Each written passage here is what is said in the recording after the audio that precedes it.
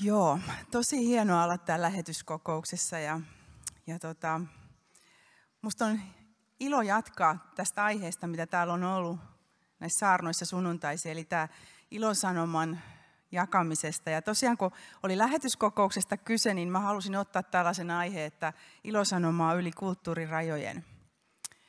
Ja sen verran mun täytyy tunnustaa, että kun mä mietin tätä ja sitten Arton kanssa juttelin, niin Arto itse asiassa sanoi mulle, että, niin, että sähän voit ottaa sen nainen kaivolla, sen aiheen tähän. Ja sitten mä otin sen. Ja mä oon tätä yli kuukauden jo miettinyt, eli mulla olisi asiaa vaikka kuinka paljon, mutta älkää pelätkö, en mä sitten ihan kaikkea kerro tällä kertaa. Mutta tämä on niin ihana tarina Jeesuksesta ja tästä naisesta tässä kaivolla. Ja nyt mä haluan, että jokainen otatte raamatu esille, kenellä teillä on. Jos teillä on se kännykässä, niin voitte lukea siitä. Mutta Johanneksen evankeliumin neljäs luku. Ja luetaan sieltä. Ja ihan luetaan 30 jaetta. Luetaan nyt tosi pitkästi tämä, mutta saatte kokonaiskuvan tästä kertomuksesta. Ja sitten palataan siihen pikkasen takaisinpäin sitten tässä vielä. Ja mä luen sen täältä, mulla on se kirjoitettuna tota, tänne. No niin. Jeesus sai tietää fariseusten kuulen, että hän kokosi ympärilleen enemmän opetuslapsia ja kastoi useampia kuin Johannes. Tosin hän ei itse kastanut, vaan hänen opetuslapsensa. Silloin hän lähti Juudeasta ja siirtyi takaisin Galileaan. Hänen oli kuljettava Samarian kautta. Matkallaan Jeesus tuli Syykkar-nimiseen Samarian kaupunkiin. Sen lähellä oli maa-alue, jonka Jaakob oli antanut pojalleen Joosefille, ja siellä oli Jaakobin kaivo. Matkasta uupuneena Jeesus istahti kaivolle. Oli keskipäivä, noin kuudes tunti. Eräs samarialainen nainen tuli noutamaan vettä, ja Jeesus sanoi hänelle, anna minun juoda astiastasi. Opetuslapset olivat menneet kaupunkiin ostamaan ruokaa.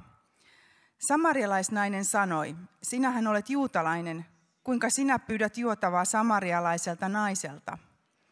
Juutalaiset eivät näe ole missään tekemisissä samarialaisten kanssa. Jeesus sanoi naiselle, jos tietäisit, minkä lahjan Jumala on antanut ja ymmärtäisit, kuka sinulta pyytää juotavaa, pyytäisit itse häneltä ja hän antaisi sinulle elävää vettä. Nainen sanoi, Herra, eihän sinulla edes ole astiaa ja kaivo on syvä. Mistä sinä lähdevettä ottaisit? Et kai sinä ole suurempi kuin isämme Jaakob, jolta olemme saaneet tämän kaivon. Hän joi itse tämän kaivon vettä, ja sitä joivat hänen poikansa ja hänen karjansakin. Jeesus vastasi hänelle, joka juo tätä vettä, sen tulee uudelleen jano, mutta joka juo minun antamaani vettä, ei enää koskaan ole janoissaan. Siitä vedestä, jota minä annan, tulee hänessä lähde, joka kumpuaa ikuisen elämän vettä. Nainen sanoi, Herra, anna minulle sitä vettä, silloin minun ei enää tule jano, eikä minun tarvitse käydä täällä veden haussa. Jeesus sanoi hänelle, mene hakemaan miehesikin tänne. Ei minulla ole miestä, nainen vastasi. Jeesus sanoi, totta puhuit, ei sinulla ole miestä.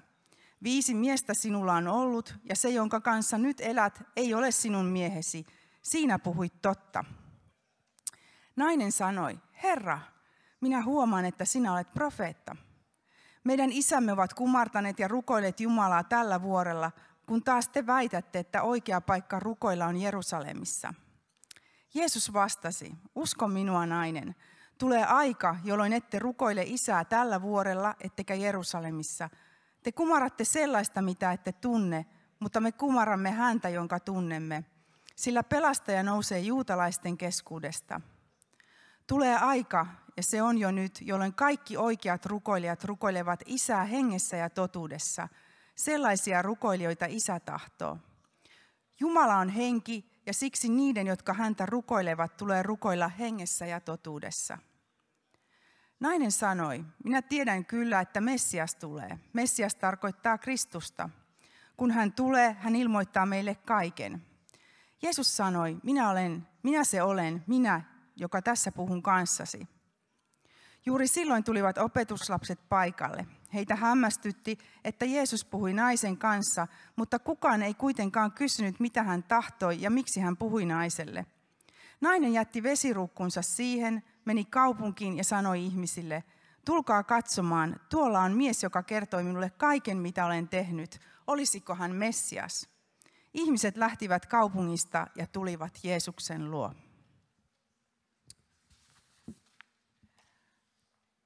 Tämä on tosi hieno kertomus. Ja mä toivon, niin kun, sieltä voisi laittaa sitten tuossa seuraavan slaidin.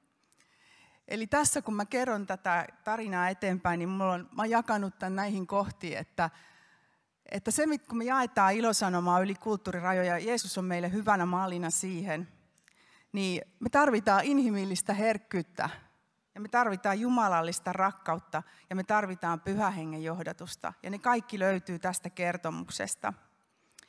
Tässä kertomuksessa on, on erilaisia tämmöisiä kulttuurirajoja. Jos huomaatte, siinä on mies ja nainen, siinä on samarialainen ja juutalainen, ja siinä on myös erilainen uskonto. Ja meille tämä voi olla myös malli siitä, että miten on uskova ja ei-uskova. Siinäkin on tämä ihan tämä kulttuuriero.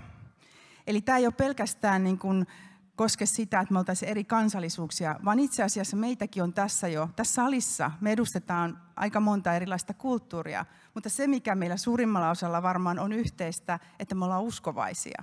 Ja meille tulee sitten ihan oma kielenkäyttö ja omat puheemme ja meillä on ihan oma kulttuuri, kun me verrataan sitä ei-uskoviin. Tämä on myös lähetyskertomus. Voi laittaa seuraavan kuvan itse asiassa mikä sieltä tulee, niin tässä oli, mä ajattelin, että tämä kuva olisi ollut taustalla tuossa, kun luetaan raamatusta. Tämä on nyt yhden taiteilijan näkemys tästä kaivohetkestä. Mutta otetaan se seuraava. Siihen jo valmiiksi. Eli tämä tarina on myös lähetyskertomus. Me huomataan se siinä lopussa, että itse asiassa Jeesus antaa tässä mallin, miten niin kuin lähdetään saavuttamaan niin kuin ulospäin. Että hän, hän saavutti samarialaiset, samarialaiset tässä tarinassa. Että Jeesus on kaikkien kansojen vapahtaja. Ja apostolin teot 1 ja 8 niin sanoikin sen myöhemmin, että, että miten Jeesus lähettää opetuslapset ja asettaa mallin. Siinä sanotaan, että mutta te saatte voiman, kun pyhä henki tulee teihin ja te olette minun todistajani Jerusalemissa, koko Juudeassa ja Samariassa ja aina maan äärin saakka. Nyt tässä on tämä inhimillinen herkkyys, luonnollisuus ja sanaton viestintä. Jos te mietitte tuota tilannetta siinä kaivolla,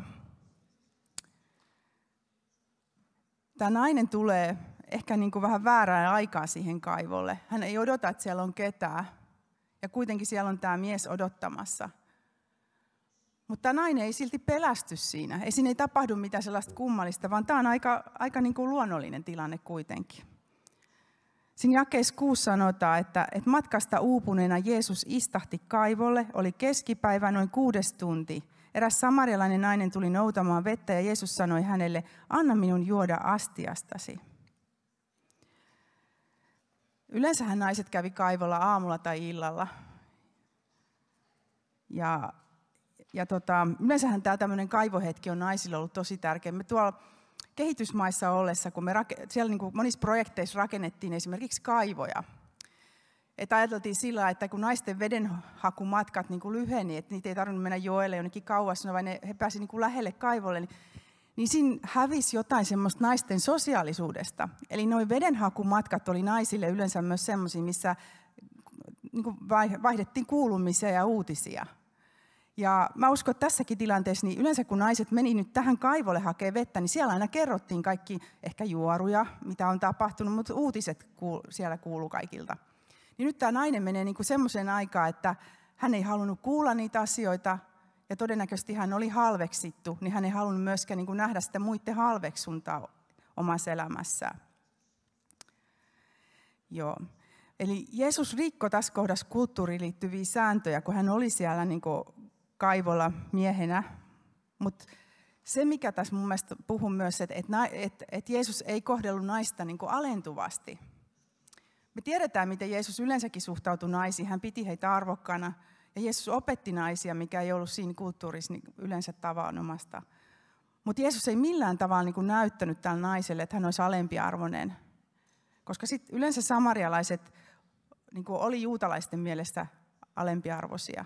Eli tässä olisi ollut monta syytä. Ja mun mielestä tämä on niin kuin meille semmoinen niin kuin muistutus siitä, että, että, että me ei saada, niin kuin, kun me kommunikoidaan ihmisten kanssa, niin me ei saada niin kuin ajatella niin, että meillä on joku evankelioinnin kohde esimerkiksi siinä, kun me jutellaan jonkun ihmisen kanssa. Vaan meidän on aina niin kuin oltava siinä samassa suhteessa. Me ollaan ihmisiä kumpikin. Ja me, meistä pitää niin kuin huokua ja näkyä se, että me ollaan kiinnostuneet tästä ihmisestä aidosti, eikä vaan niin kuin jonain kohteena. Ja se, että me arvostetaan niin kuin ihmisiä. Ja sanaton viestintä on muuten semmoista, mä en tiedä, kyllähän meillä Suomessakin, me luetaan paljon rivien välistä jossakin keskusteluissa. Ja just tämä tämmöinen meidän asenne voi näkyä niin kuin siinä. Mutta esimerkiksi Aasiassa oli tosi tarkkaa, niin kuin, että, että tuntuu, niin kuin, että siellä kyllä esimerkiksi Taimassa niin paljon hymyillään. Mutta tosiasiassa he lukee paljon niin kuin rivien välistä meidän niin kuin, sitä ilmapiiriä tavallaan, mitä siinä tilanteessa on.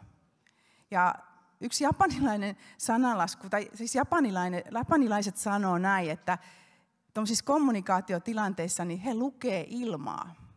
Ja mun mielestä se sopii myös tähän tilanteeseen, että se ilmapiiri, missä me liikutaan, että se on tosi tärkeä. Että, se, että me ollaan sopusoinnussa sen viestin kanssa, mitä me halutaan kommunikoida. Ettei me olla jotain niin kuin muuta. Okei. Seuraava. Jumalallinen rakkaus. Ja siihen mä oon laittanut tämä aito kiinnostus ja välittäminen ja toisen ihmisen taustan tunteminen. Tässä tarinassa me nähdään se, miten Jeesus toi totuuden esille naisen elämästä niin rakkaudella. Ja Jeesus ohjasi naisen kohtaamaan oman kipunsa. Tämä nainen olisi voinut niin kuin kävellä siitä tilanteesta pois ja pitää kipunsa, mutta Jeesuksen rakkaus paransi hänet. Ja Jeesus paransi naisen syyllisyydestä ja haavoista. Ja tämä on meille sellainen myös, että uskalletaanko me oikeasti niin kuin kysyä, mitä ihmiselle kuuluu. Uskalletaanko me oikeasti kohdata sen lähimmäisen niin kuin kipu. Se on, jos uskalletaanko me oikeasti kohdata vaikka hyväksikäytetty ihmisen kipu.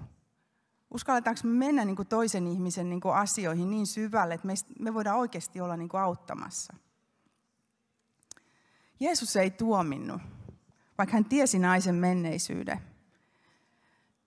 Viisi miestä oli hylännyt, kuudes ei edes vaivautunut naimaa häntä. Ja tästä tarinasta tulee seitsemäs mies, Jeesus, tämän naisen elämää. Mutta Jeesus antoi jotain sellaista, mitä nämä muut miehet ei ollut voinut tuoda. Ja tämä on mulle ja meille sellainen muistutus siitä, että, että mikään ihmissuhde ei tuo vastausta meidän niin kuin elämän tyhjyyteen tai meidän tarpeisiin. Ainoastaan Jeesus. Tämä aika on jotenkin sellainen, että, että tuntuu, että ihmiset hakee niin kuin ihmissuhteista sitä lohtua ja sitä niin kuin sisältöä. Ja sitten joku ihminen ei riitäkään, niin sitten seuraavaan ihmissuhteeseen. Mutta Jeesus on tullut sitä varten, että hän haluaisi täyttää sen tyhjyyden. Ja haluaisi antaa meille niin kuin riittävän elämän. Sitten tässä on tämä toinen puoli tässä, tämä taustan tunteminen ja, ja tässä mä haluan kertoa sen, että, että kun Jeesus tiesi samarialaisten historiaa, tämä on malli myös meille sillä, että, että kun mä oon haastatellut esimerkiksi maahanmuuttajia, niin mä oon huomannut sen, että heidän niin monen elämässä on tosi mielenkiintoisia asioita. Ja heillä olisi paljon jaettavaa meille muille. Mutta ollaanko me oikeasti niin, niin kiinnostuneita aina kaikista? me voitaisiin oppia paljon enemmän siitä, että kun me tunnettaisiin ihmisiä ja tiedettäisiin heidän taustaan, me osattaisiin arvostaa heitä ehkä enemmän. Ja tässä niin kuin näkee se, että, että Jeesus tiesi niin kuin sen, hän, hän osasi siinä keskustelussa kertoa, mitä samarialaiset on, ja hän tiesi ne pyhät paikat. Hän tiesi tästä naisen taustasta paljon, aika, paljon niin kuin enemmän. Mutta se, miksi mä haluan nyt tässä hetkessä ottaa tämän historian vielä niin vahvemmin esille, on se, että tässä, tässä samassa paikassa, tällä samalla kaivolla – oli tuhat vuotta, no ei ehkä tällä kaivolla, mutta samalla alueella, oli tuhat vuotta aikaisemmin tapahtunut ikävä tapahtuma. Eli Jaakob ja Lean tytär Dina raiskattiin. Ja tästä kerrotaan ensimmäisen Mooseksen kirjan 34. luvussa. Ja mä en mene siihen sen enempää, mutta se, se kostettiin tämä tapahtuma. Dinan veljet kosti tämän tapahtuman verisesti. Mutta se ei tuonut niinku parantumista Dinan elämää. Raamatussa ei, ei kirjoiteta hänestä enää sen jälkeen. Hänen elämä oli niinku häväisty. Ja hänet, naisena hänen niinku arvonsa oli mennyt. Ihmisenä hänen arvonsa oli mennyt. Ja siihen ei tullut niinku todellista vastausta silloin. Ja nyt kun me nähdään tämä, että on tuhat vuotta kulunut ja siinä, siinä tilanteessa niin tota, Jeesus tulee täällä samalla paikalle ja kohtaa tällaisen rikkinäisen ihmisen. Jeesuksella onkin vastaus siihen rikkinäisyyteen. Jeesus ei kosta, hän ei, ei tee sitä niin koston mielessä, vaan oikeasti hän tulee ja hän hoitaa. Hän kohtaa ihmisen rakkaudella ja hän hoitaa tämän hyväksikäytetyn ihmisen haavat tässä tilanteessa. Et Jeesuksen vastaus on anteeksanto, rakkaus ja sääli.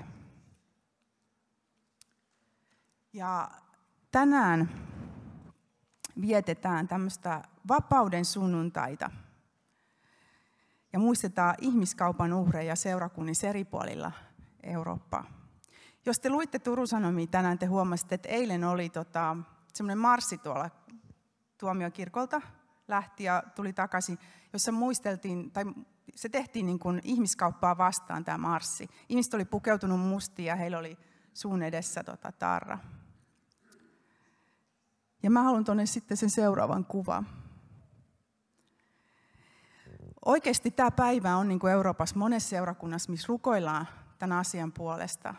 Ja se, miksi tässä nyt ei ole suun edessä tarraa, vaan on niin kuin silmien ympärille side, niin tämä on niin kuin herätys meille seurakuntana, että nähdäänkö me tämä ympäröivä maailma, mikä, mikä on tässä ympärillä. Että nähdäänkö me ne haasteet ja ongelmat, mitä on täällä ympärillä, vai onko meillä vaan niin side silmillä. Euroopassakin on ihmiskauppaan, ihmiskauppaan niin kuin uh, uhreja.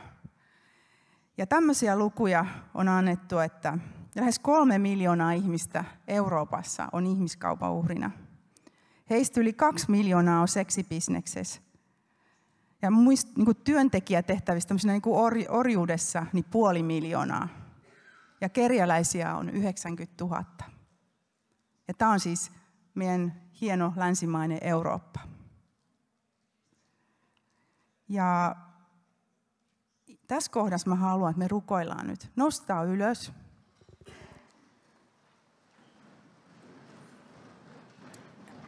Ja rukoillaan sillä, että, että ihmiskauppa päättyisi. Ja rukoillaan sitä, että viranomaiset löytäisivät erilaisia keinoja, että nämä kaikki tämmöiset ihmiskaupparingit paljastuisi. Mä uskon, että se on niin kuin tärkein tehtävä, mikä meillä seurakuntana on.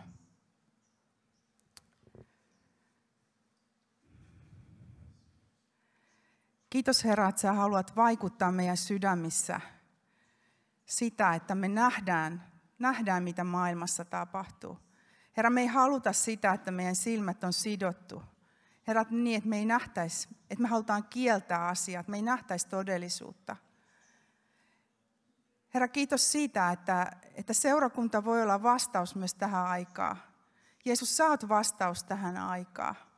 Kiitos Herra siitä, että me saadaan niin kuin rukoille niin kuin oikein taistella sitä, että, että viranomaiset heräis näihin asioihin – ja Herra, kiitos siitä, että sä tuut niin kuin paljastamaan näitä ihmiskaupparinkejä lisää. Herra, me oikein pyydetään sitä, että et, et, et enemmän ja löytyy niin kuin keinoja ottaa kiinni näitä ihmisiä, jotka sitoo toisia ihmisiä vankeuteen.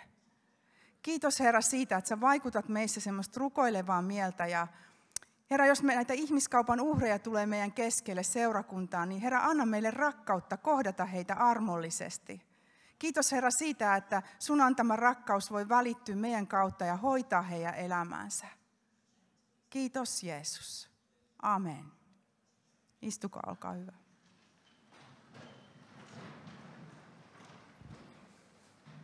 Seuraava.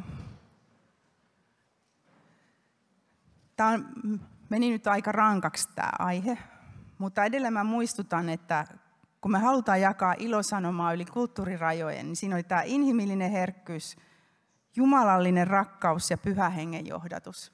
Ja vielä mä haluan muistuttaa tuosta rakkaudesta sen, että, Et mä ainakin itse koen niin kuin sen, että, että se ei ole sitä mun omaa rakkautta, vaan oikeasti se on niin jumalallista rakkautta. Mä voin pyytää sitä, että Jeesus antaa mun sydämeen rakkautta, että mä pystyn kohtaamaan ihmisiä. Ja tämä rakkaus on varmaan aika tärkeä, koska tämä on tullut näissä edellisissäkin sunnuntai-saarnoissa esille, että me tarvitaan rakkautta, kun me kohdataan ihmisiä. Tässä kertomuksessa Pyhä Henki johdatti Jeesusta niin oikeaan aikaan, oikeaan paikkaan ja antoi myös oikeat sanat oikeaan aikaan. Keskustelu eteni Pyhä Hengen johdossa.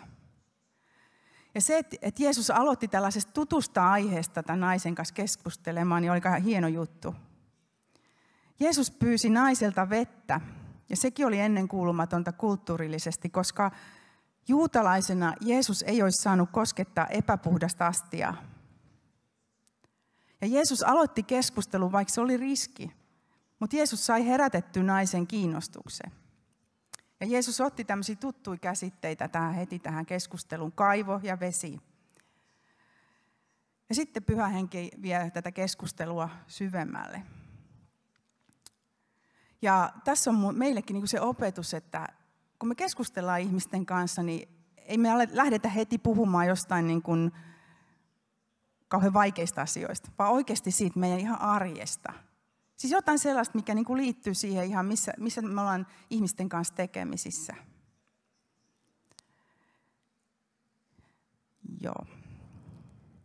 Ja sitten vielä, missä tässä näkee niin kuin hyvin tämän, että pyhä henki johdatti tätä keskustelua. Ja tietenkin, koska tämä oli nyt Jeesus, niin hän osasi viedä tämän keskustelun rakkaudellisesti eteenpäin. Et siinä kohtaa, kun Jeesus mainitsee tämän naisen, ettei hänellä, naiselle, ettei hänellä ole aviomiestä, niin Jeesus tulee tosi lähelle naisen jo sydäntä. Niin ja nainen yrittää sen jälkeen vielä muuttaa tätä keskustelua niin etäiseksi käytännön teologiaksi, mutta Jeesuksen sanoma tulee kuitenkin kohti tätä naista. Ja tässä tapahtuu se hieno asia, että nainen haluaa ottaa vastaan se Jeesuksen tarjoama elävän vede.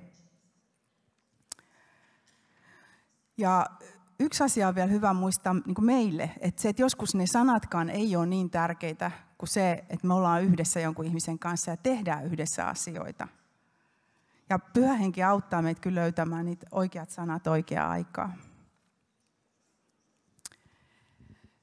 Ja mä haluan vielä sanoa tästä naisesta ja näistä miehistä vähän. Monesta kommentaarista, raamatun kommentaarista niin näkee, että, että tota, meillä on erilaisia silmälaseja, kun me luetaan tätä tekstiä.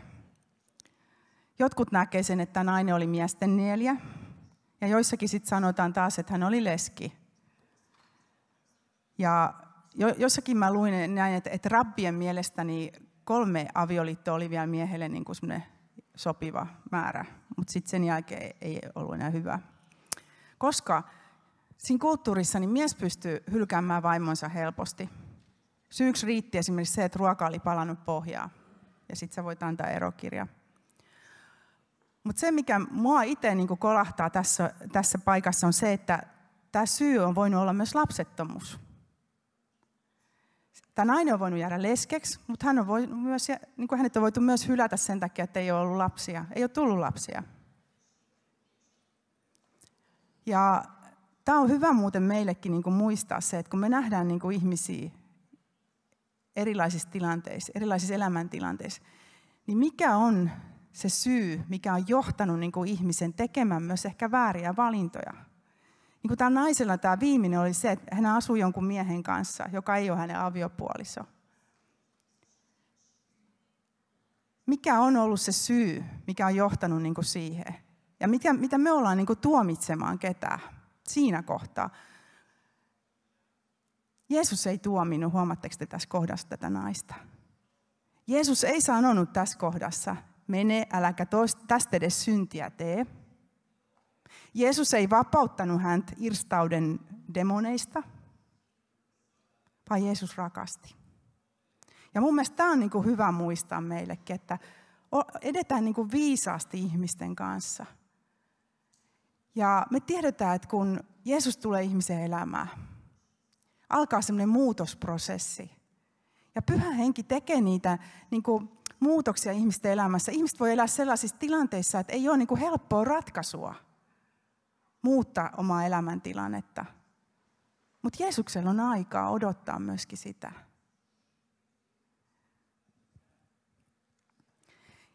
Ja tässä on hienoa se, että, vaikka Jeesus tiesi tämän naisen elämän, niin Jeesus opetti hänelle myös silti hengellisiä viisauksia. Ja tässä on myös meille se opetus, että, että, että ei ole mitään salaisuuksia Jeesuksen edes meillä. Jeesus tietää meistä ihan kaiken. Meidän on niin kuin turha myöskin niin kuin feikata ihmisten edessä, että me oltaisiin jotenkin parempia tai hyvempiä. Ja, ja yksi hyvä muistutus on siitä, että ei ole olemassa, niin kuin te ykkösluokan uskovia ja kakkosluokan uskovia. Vaan Jumalan armosta, kun me otetaan Jeesus vastaan meidän sydämeen, me ollaan uskovia. Me ollaan uudesti syntyneet siinä tilanteessa. Ja se asema säilyy. Meidän elämässä voi olla asioita, joita pitää laittaa vielä kuntoon. Ja meistä kukaan ei ole synnitö. Ei edes pastorit ole synnittömiä. Voitteko te kuvitella? Siis ihan oikeasti. Me ollaan kaikki uskossa uudesti synneitä, kun me otetaan Jeesus vastaan meidän elämään. Ja se elävä vesi pääsee puhdistamaan meitä. Tämä ilosanoma välitettiin tälle naiselle niin, että nainen oli tietyllä tavalla tämmöinen avainhenkilö.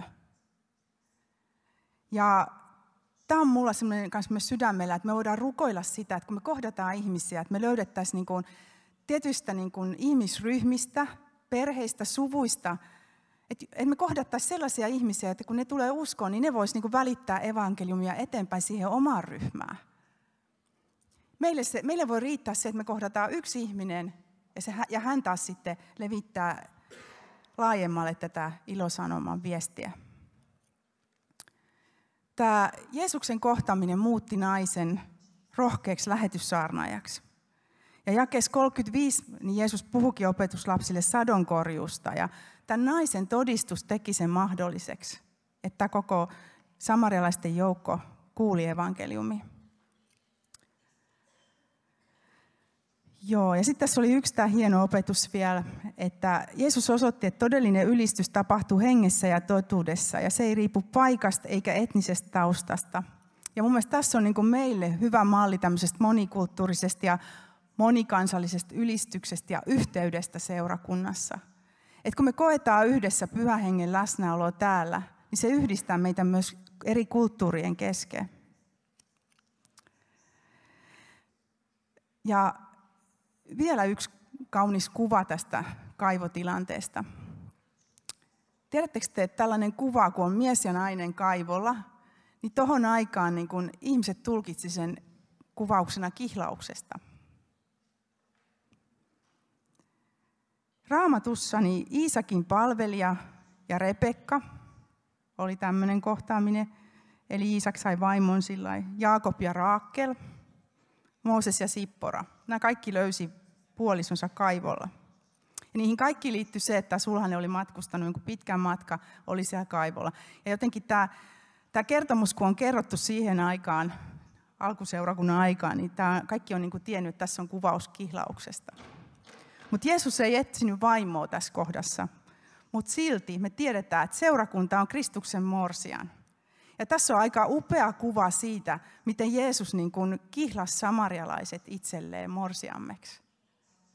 Ja tämä on meille myös muistutus siitä, että, että evankeliumi on tarkoitettu niin kuin kaikille kansoille. Se lähti juutalaisista, sitten samarilaisista ja aina eteenpäin. Ja me ollaan Kristuksen morsian. Me voitaisiin olla tuossa kaivolla keskustelemassa Jeesuksen kanssa. Sitten vielä viimeinen. Eli muistutuksena tästä ilosanoman jakamisesta on luonnollinen ja ystävällinen, opi rakastamaan ihmisiä ja kuule pyhähengen johdatuksessa. Jaakobin kaivo on olemassa edelleenkin. Ja se sijaitsee nykyisen länsirannalla, palestinalaisalueella. Se alue on edelleen kiistanalainen ja juutalaiset välttää edelleen sen läpikulkemista. Jaakobista alkaa vettä ammennettu jo yli 3000 vuotta. Tuon kaivon vesi ei pelasta eikä paranna. Jeesus on se vaan, joka tyydyttää meidän janoa. Johannes 7, 37 ja 39, siinä sanotaan tämä, että Jeesuksen antama vesi pulppua vuolana.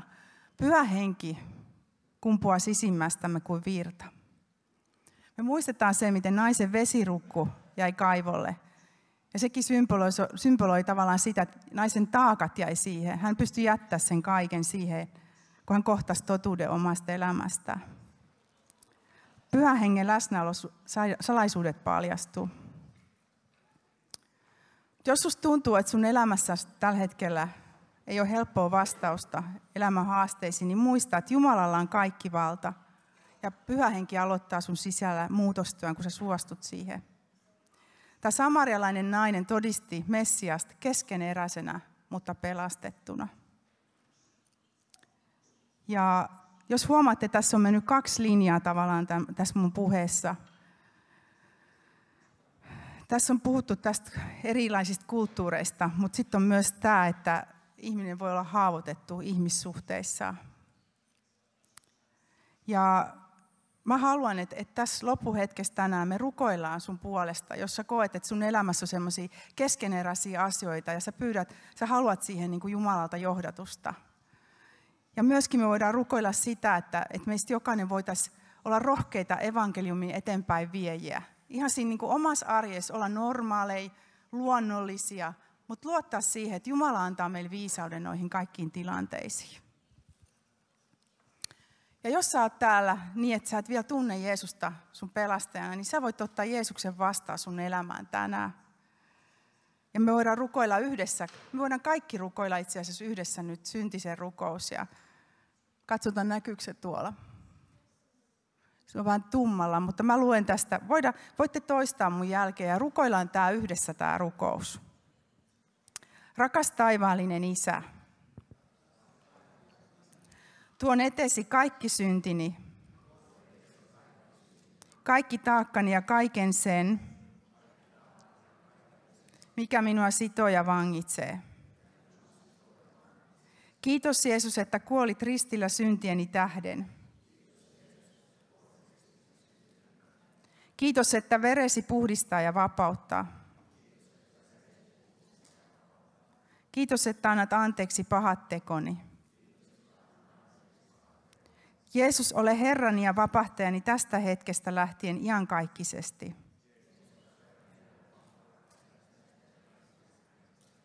Olen nyt uudesti syntynyt Jumalan lapsi. Uskon sen ja otan vastaan Jeesuksen elämääni. Amen.